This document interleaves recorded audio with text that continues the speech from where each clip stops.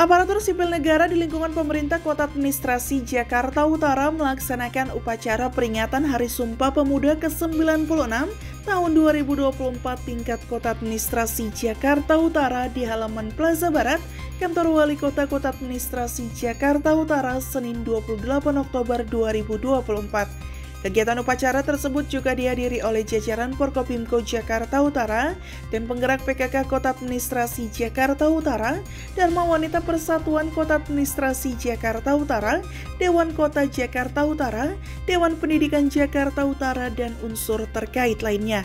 Momentum peringatan Hari Sumpah Pemuda tahun 2024 ini mengangkat tema Maju Bersama Indonesia Raya.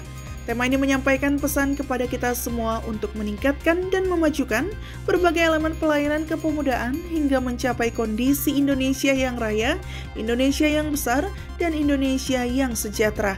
Tutur Wali Kota Kota Administrasi Jakarta Utara Ali Maulana Hakim saat membacakan sambutan dari Menteri Pemuda dan Olahraga Republik Indonesia Aryo Bimo Nandito Aryo Tejo.